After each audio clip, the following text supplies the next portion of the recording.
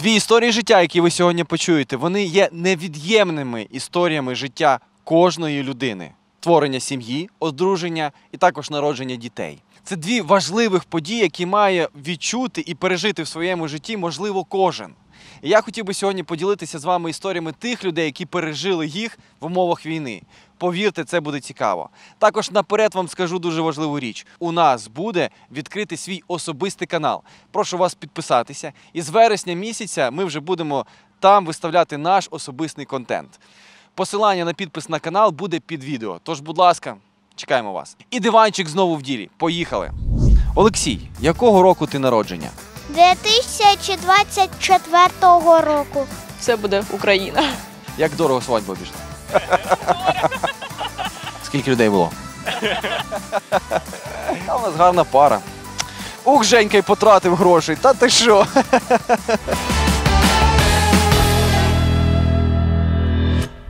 Хочу представити вам наших перших гостів, які по суті мали досвід народження дітей в цей складний період. І от у нас перша гостя. Хочу, щоб ви представилися. Альона. І Льоша. Льоша, дуже приємно, мене також Олексій звати.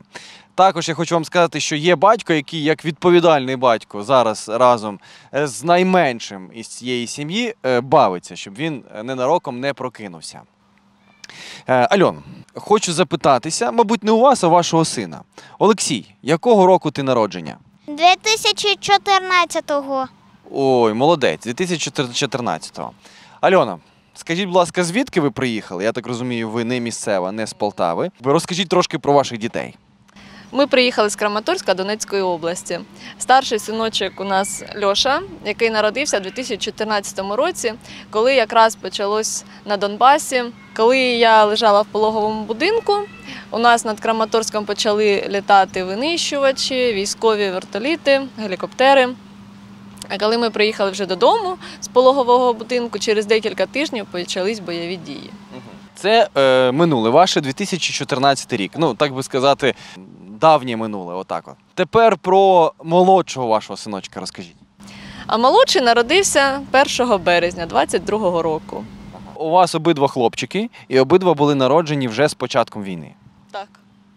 Е, ви героїчна мама, дійсно, в такі періоди, от якось у вас виходить відчувати. Е, як це народжувати в стресі? Перший раз стресу як такового не було, тому що все почалось трошки пізніше. От коли ми вже додому приїхали, вже тоді почалися такі моменти. А от другий раз це стрес багато дав, дався в знаки, що у мене дитина молодша попала в реанімацію після пологів. Тобто це все із-за стресу. І коли ми були в пологовому будинку, то в цей період, якраз от після 24 лютого, після початку війни, е, багато дітей дуже попадало до реанімації після пологів, саме через стрес мами. Але оцей ваш перший досвід народження Олексія, е, він якось вам допоміг е, при народженні вже молодшого синочка. В плані стресу, в плані війни ні. Тому що в 22-му році все набагато страшніше і все набагато гірше, чим було в 14-му. Тому ні. Добре, давайте поговоримо про тих, кому е, можливо вже скоро треба буде народжувати. Ви вже як досвідчена мама. Що б ви могли порадити тим е, жінкам, дівчатам, які зараз вагітні, е, і як їм приготуватися, як справитися з тим стресом, який вони відчувають? Ну, по-перше, це якщо вагітна знаходиться у небезпечному місці, краще виїжджати. Краще виїжджати в більш безпечніші місця України, тому що це дуже важливо. По-друге, якщо є змога, то обрати лікаря, якому можна довіряти. І слухатись лікарів це найголовніше. Думати про дитинку, відволікатись на якесь хобі і думати, що все буде добре, все буде Україна. Олексій, ти любиш свого братика? Так, вже з ним трохи почав гратися? так. Е, в що ви з ним граєтесь? Розмовляю з ним. Ем, Ще це ще е, граюся там з ним. Ем, давай до мами до твоєї перейдемо. Знову ж таки, що ви можете порадити вагітним? Як себе відволікати? От е, як перемикати свою увагу від страшних новин, які ми кожного дня читаємо з с- стрічці новин, на ну якби на інші моменти, можливо, на більш позитивні. Як ви навчилися це робити? Чи навчилися ви це робити? Ну зараз уже так, тому що зараз у мене є дитинка, як- якій я потрібна 24 години на добу. Тому зараз це вже не важко. А от до пологів, звичайно, це важко. Ну, треба заздалегідь скласти сумки до пологового будинку, вибрати речі для немовля, там, пустишки, бутилочки, оце все. Це дуже відволікає. Дивитися дитячі мультики, балакати з дитинкою. Тобто вам уже дивитися? Да, да. Е, давайте поговоримо про чоловіка. Е, чоловік вас підтримував в той період, коли ви вже були в пологовому будинку? Чоловік дуже підтримував і дуже велику роль зіграв, тому що коли я була в пологовому будинку, він їсти носив, він за мною був, можна сказати, під час операції, після зі мною був, залишився. Ну, допомагав дуже. Е, По аптекам їздив, тому що вже ліків вже було важко знайти. Він їздив по місту по аптеках, документи робив. Так, дуже велика була підтримка і допомога від нього. Е, окрім допомоги, підтримки, що б ви могли, можливо, під- порадити тим чоловікам, які чекають зараз дітей від своїх жінок? підтримувати жінок, відволікати жінок, робити їм компліменти частіше, дарувати квіти. Давайте повернемося до того часу, коли ви знаходилися в пологовому будинку. Які були складнощі?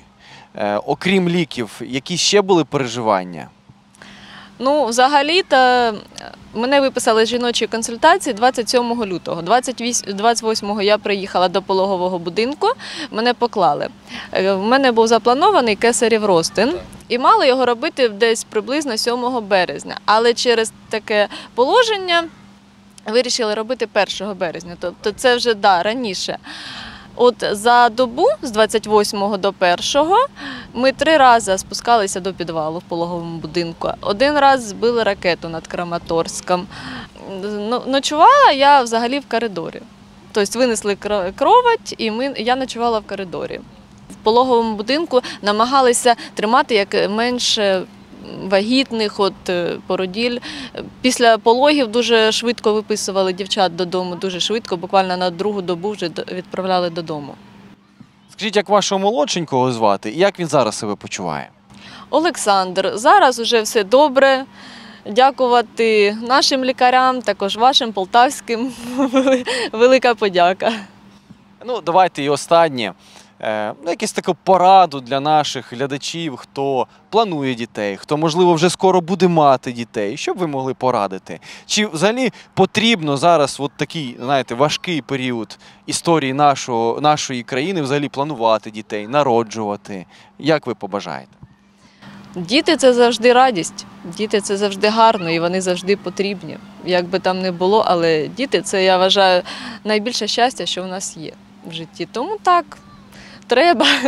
Якщо вже вагітні, то звичайно це дуже гарно. Олексій, що скажеш, якщо ще сестричка буде?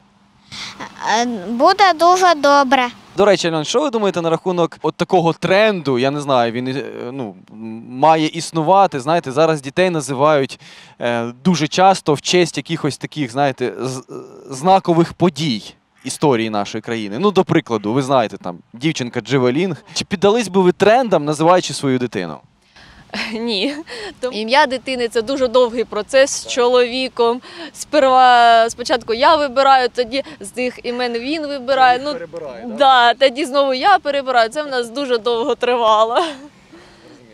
Ми вам бажаємо успіхів, мирного неба.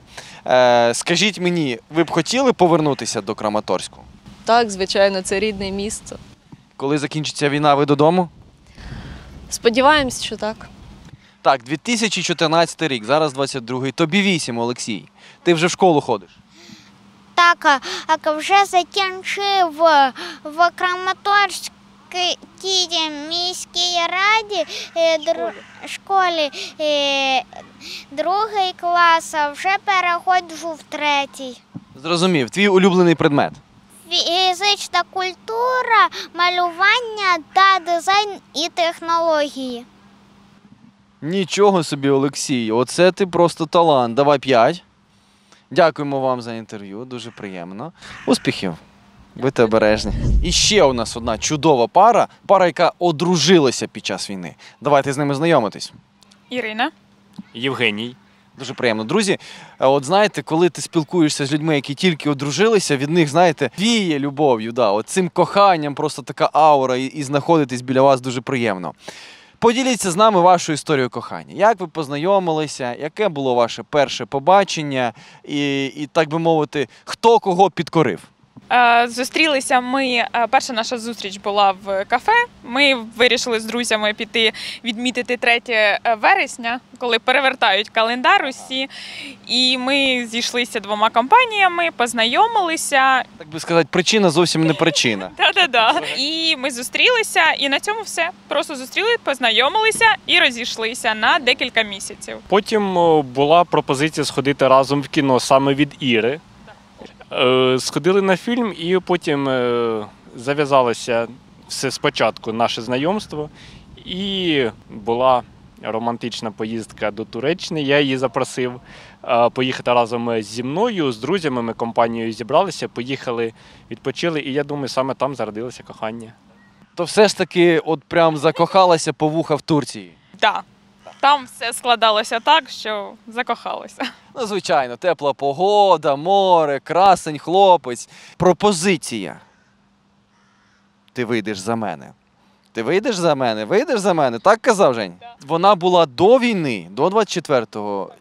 Вона була в жовтні, 28 жовтня. У нас було е, 10 місяців наших стосунків. Я захворіла і В цей момент в дім прийшло щастя, тому що він виніс обручку і сказав: Ти будеш моєю.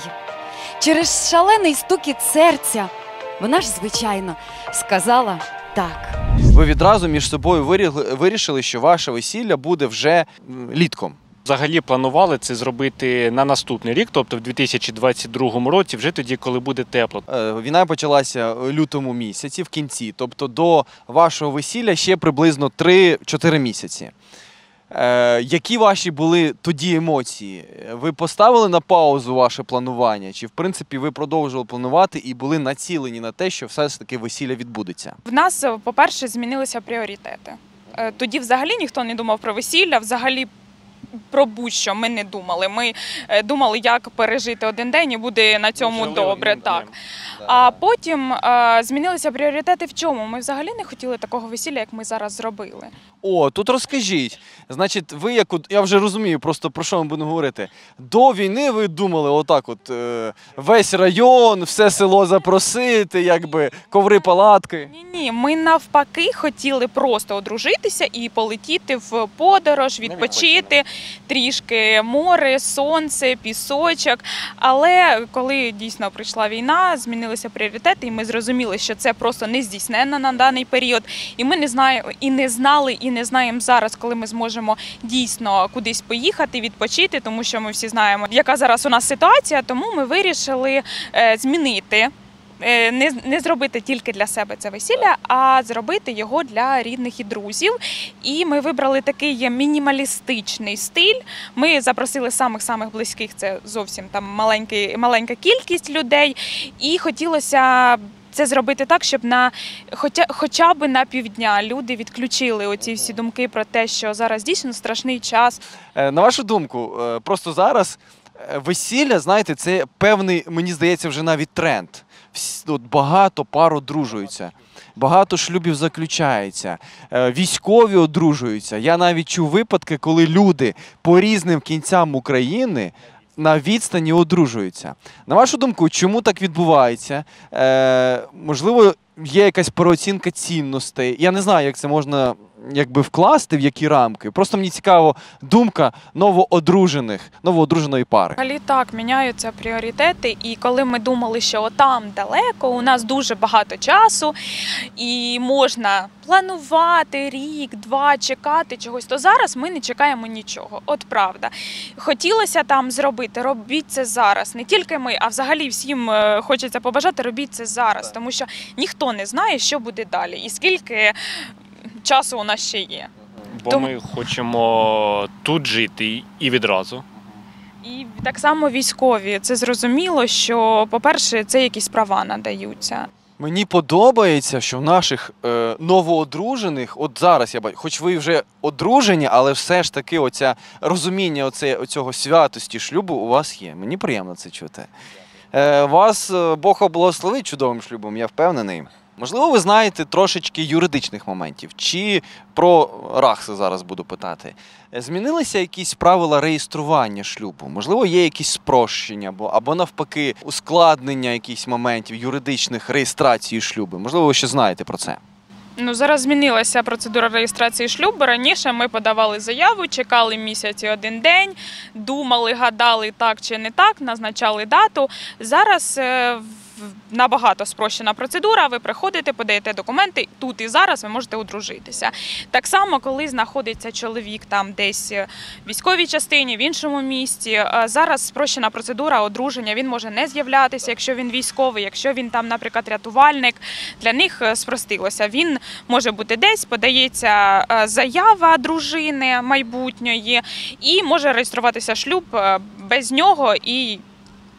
Наприклад, там командиром частини або, наприклад, працівниками РАКСу. Можете показати на камеру американочки чи європеєчки? Обручки. Так, визначаю. Ні, це американки, да. Да. А можете ще показати? Ось бачите, у нас тут обручка, а це вже така м, кілечко, яке дається в ЗАГСі, мабуть. Да? Так. На вашу думку, ці обставини, в яких зараз проживає вся Україна, ваше кохання зміцнило? Ну, хоч би це здавалось би абсолютно е, парадокс якийсь, да? такі важкі умови, ну, як іще й кохати сильніше, але все ж таки, ваше кохання сильніше? Кохання стало сильнішим з перших днів війни. Е, Хоч ми не були е, одружені, ми готувалися до весілля, але дивлячись на події в країні, переглядаючи новини, було страшно втратити людину. Прокинулися такі почуття, е, яких не було раніше. Почали краще оберігати один одного. Коли ти не сам. Я думаю, всі це розуміють. Коли ти залишаєшся сам, тобі в будь-якій ситуації Так. страшно, важче. А коли за вікном е, хто зна що відбувається, ва- важливіше і легше переносити це все, коли поруч з тобою кохана людина. Е, чоловік ваш вже тепер сказав, що ваша любов стала міцнішою навіть в той момент, як ви ще не були одружені. А мені цікаво, от ви, як жінка, все ж таки ви е, та, хто більше відчуває серцем. Ну, такі ви вже жінки. Після реєстрації шлюбу, що тоді от змінило? Змінилося щось? Бо знаєте, от ви е, зауважили важливість реєстрації шлюбу. Багато хто каже, навіщо? От я і так відчуваю, як відчувала до цього. Відчував. Е, в вашому випадку, е, от на рівні почуттів, ви відчули, що щось змінилося після реєстрації шлюбу? Так, дійсно, наші почуття змінилися е, з штампом в паспорті. Хоча зараз його не ставлять. Зараз видали свідоцтво, воно є і все.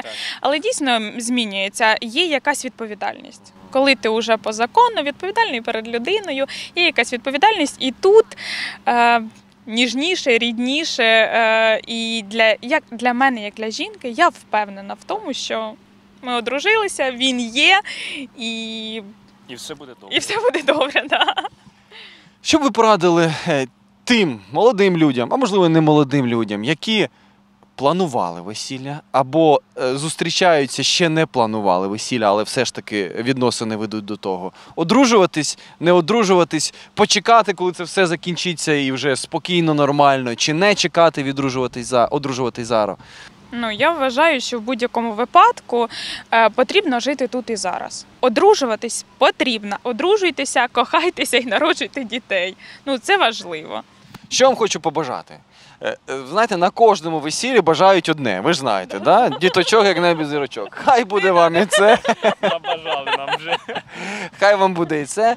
Щоб ви такими були усміхненими і завтра, і післязавтра, і кожного дня. На наш диванчик приходьте ще, дивіться нашу передачу. Обов'язково, і ми це озвучимо всім нашим глядачам. Ми випускаємо свій особистий канал. Підпишіться.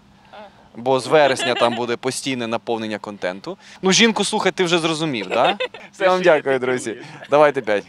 Все. Дякуємо. Богом. Наша команда, наш диванчик, хоче вам сказати, друзі, і донести важливу річ: життя продовжується. І повірте мені, дуже скоро ми будемо відчувати ці чудові події, а саме народження дітей і одруження набагато яскравіше, тому що це вже буде після перемоги, в той момент, коли кожен буде відчувати свободу. Давайте будемо продовжувати життя, життя, яке обов'язково принесе нам радість. Друзі, одружуйтесь і народжуйте дітей. Це вам радить наша програма Диванчик. Ну і звичайно, кожен із наших сьогоднішніх гостей.